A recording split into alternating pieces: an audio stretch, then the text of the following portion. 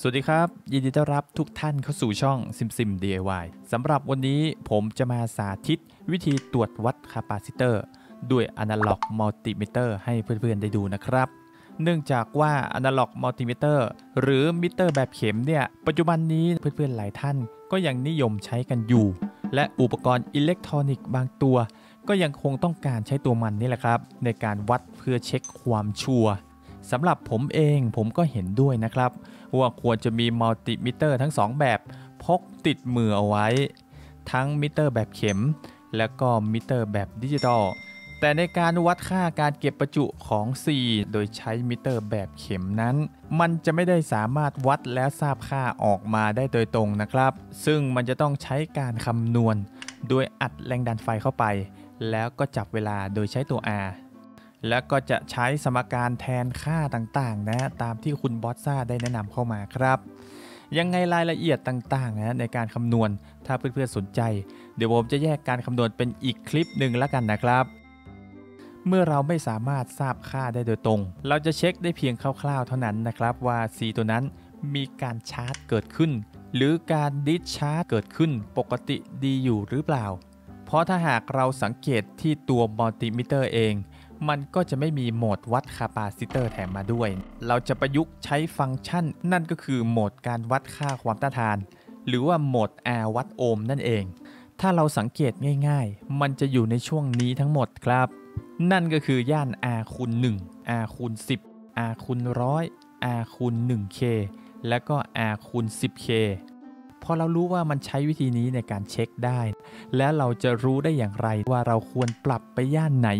เพราะว่า C แต่ละตัวค่าการเก็บประจุ มันก็ไม่เท่ากันอีกครับ ที่จริงมันก็ไม่ได้ตายตัวอะไรมากนะครับ ช่างหลาย ๆ ท่านก็จะใช้ประสบการณ์ของตัวเอง ปรับให้มันพอมองเห็นการกระดิกของเข็มชัด ๆ ส่วนใหญ่ C ที่ค่าเยอะ ๆ เขาก็จะปรับล่นลงมาที่ R คูณ1ส่วนถ้า C ค่าน้อยๆค่าน้อยมาก ๆ เขาก็จะปรับไปที่ R คูณ 10K นั่นเองครับ ราะฉะนั้นผมจะมาแนะนำค่าคร่าวๆของ C ที่เหมาะสม เป็นอีกหนึ่งทางเลือกให้เพื่อนๆดูนะว่าควรจะใช้เลนส์ไหนในการวัด ผมแนะนำว่าค่าที่อยู่ในช่วง 1,000 ไมโครฟาราดขึ้นไป ควรที่จะใช้ย่าน R คูณ1ครับ ส่วนค่าที่อยู่ในช่วง 100 ไมโครถึง 1,000 ไมโคร ควรที่จะใช้ย่านวัด R คูณ10และค่าที่อยู่ในช่วง 10 ไมโครถึง 100 ไมโคร ควรที่จะใช้ย่าน R คูณ 100 และค่าที่อยู่ในช่วง 1 ถึง 10 ไมโครฟาราดควรที่จะใช้ย่าน R คูณ 1K ครับ และค่าสุดท้ายนะค่าที่อยู่ในช่วง 0.1 ไมโครฟาราดถึง 1 ไมโครฟาราดควรที่จะใช้ย่าน R คูณ 10K ครับ ทีนี้มาดูขั้นตอนการวัดกันบ้างครับ ขั้นตอนที่ 1 ก็คือให้เพื่อนๆเนี่ยนำ C ที่ต้องการวัด มาคลายประจุออกให้หมดซะก่อน 2. เช็ค C ว่ามันมีค่าเท่าไหร่ อย่างตัวนี้นะฮะค่า 4,700 ไมโครฟาราดเราก็เอามาเปรียบเทียบกับตาราง สังเกตว่าค่าที่อยู่เกิน 1,000 ไมโครฟาราดควรจะใช้ย่าน R คูณ 1 ใช่ไหมครับ หลังจากนั้นเราก็ปรับย่านให้มันตรง ปรับย่านให้มันเหมาะสม 3. นำเข็มวัดมาแตะทั้งสองขา เราก็มาสังเกตจากเข็มมิเตอร์กันนะครับคาปาซิเตอร์ตัวที่มันดีๆ ตัวที่มันยังพอใช้งานได้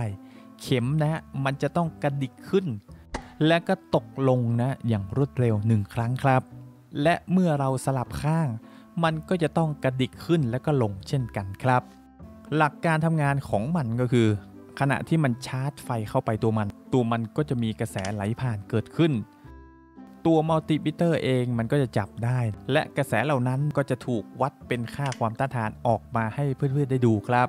แต่พอสักพัก C เนี่ยถูกชาร์จจนเต็ม มันก็จะไม่มีกระแสไหลออกมา เข็มสเกลมันก็เลยตกครับ เรามาดู C ตัวถัดไปกันบ้างครับ ผมจะคลายประจุออกให้หมดเช่นเดิมนะครับ C ตัวนี้มีค่า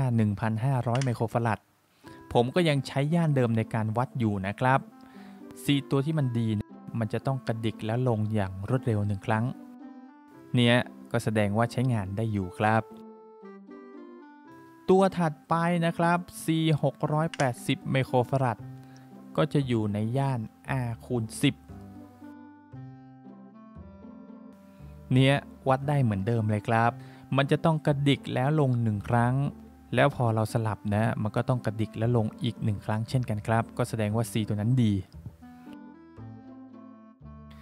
ตัวถัดไป 330 ไมโคร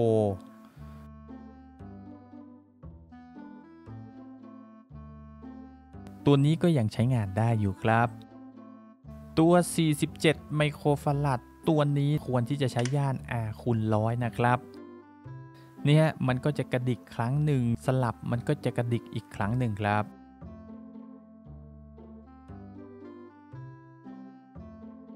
ส่วนตัวนี้ 22 ไมโครฟาราดตัวนี้ก็ยังใช้งานได้ครับ แต่เข็มนะสังเกตว่ามันจะขึ้นนิดเดียว บางทีนะถ้าหากเรามองไม่ชัด ก็ขยับย่านวัดขึ้นไปอีกก็ได้นะครับนี่ฮะก็จะมองเห็นได้ชัดเจนขึ้น ตัวต่อไปก็จะเป็นตัว 10 ไมโครฟาราด ผมก็จะใช้ย่านวัดเป็น R คูณ 1K ไปเลยนะครับ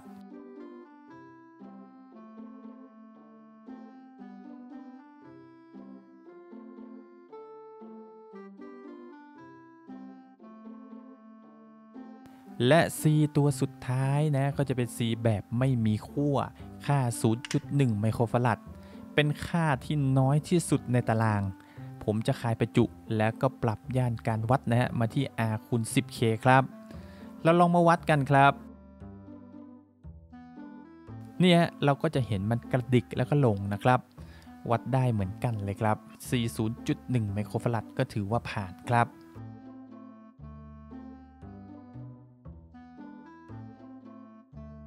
ส่วน C ที่มันค่าน้อยกว่านี้ อันนี้ผมแถมให้นะครับ ผมจะลองวัด C 0.01 ดูครับ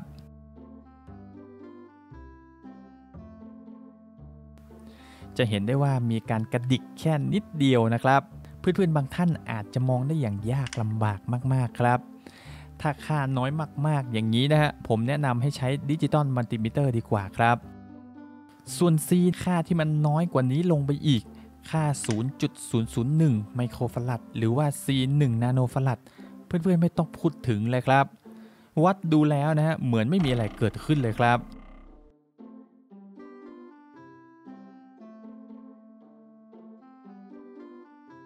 เพื่อนๆจะต้องใช้ดิจิตอลมัลติเมเตอร์ ย่านวัดละเอียดวัดดูอีกครั้งหนึ่ง มันถึงจะปรากฏค่าออกมาครับ เพื่อนๆหลาย ๆ ท่านคงจะสงสัยว่า อ้าว แล้วอย่างนี้เราจะวัด C ค่านี้เราจะต้องทำยังไง สำหรับมิเตอร์เข็มบางรุ่น มันก็จะมีเลนส์การวัดกว้างไปถึง R คูณ 100K เลยทีเดียวครับ ราคาก็จะสูงขึ้นมานิดนึง ส่วนมิเตอร์ที่ผมใช้ก็จะเป็นรุ่นประหยัดตัวละร้อยสองกว่าบาท จะไม่มีย่านวัดย่านนี้นะครับ ถ้าปรับขึ้นอีกหน่อยนะ มันก็คือหมดเสียงไปเลยครับ แต่ก็ไม่เป็นไรนะ ก็ยังพอใช้งานได้อยู่ หลังจากที่เราวัด C ตัวที่ใช้งานได้แล้ว วัดได้ครบทุกย่านแล้ว ทีนี้เรามาดู C ตัวที่มันเสียกันบ้างครับ แบบที่ 1 ก็คือมันจะขึ้นค้างแบบนี้ก็จะเป็น C ช็อตซึ่งจะไม่มีค่าความต้านทานเกิดขึ้นเลยครับ หรือว่าเข็มเนี่ยมันตีเต็มสเกล แต่ทั้งนี้ทั้งนั้นก็ต้องย้อนกลับไปดูนะฮะว่าเพื่อนๆเนี่ยปรับย่านวัดสัมพันธ์กับค่า C ด้วยหรือไม่ 2. C รั่ว C รั่วเข็มมันจะกระดิกขึ้นแล้วมันไม่ลงในทันที มันจะค่อยๆลงแบบนี้ครับ แบบนี้อาจจะมีการรั่วเกิดขึ้นก็ได้ เพราะว่า C ตัวที่ดีๆ สังเกตง่ายๆ ก็คือ เข็มมันต้องขึ้นสุดแล้วก็ลงสุด 3. C ขาด C ขาดก็คือ C ตัวนั้นวัดค่าไม่ขึ้น วัดค่าไม่หือไม่อื่น ถ้ามาเช็คที่หัวของมันนะก็อาจจะมีอาการระเบิดร่วมด้วยได้ครับ สำหรับเพื่อนๆ คนไหนมีเทคนิคการวัดดีๆ เพิ่มเติมก็สามารถคอมเมนต์ใต้คลิปเข้ามาได้นะครับ ส่วนอาการอื่นๆนะที่คาดว่า C จะเสีย ผมได้รวบรวมทำเป็นคลิปรวม C ที่เสียหลากหลายอาการเอาไว้แล้วครับ หรือแม้กระทั่งการวัด C รั่ว เพื่อนๆ ก็สามารถย้อนกลับไปรับชมคลิปได้เลยเหมือนกัน เดี๋ยวผมจะทิ้งลิงก์ไว้ใต้คลิปให้ละกันครับสำหรับคลิปนี้ผมขอสาธิตไว้เท่านี้ก่อน ขอบคุณเพื่อนๆทุกท่านที่ติดตามรับชมครับ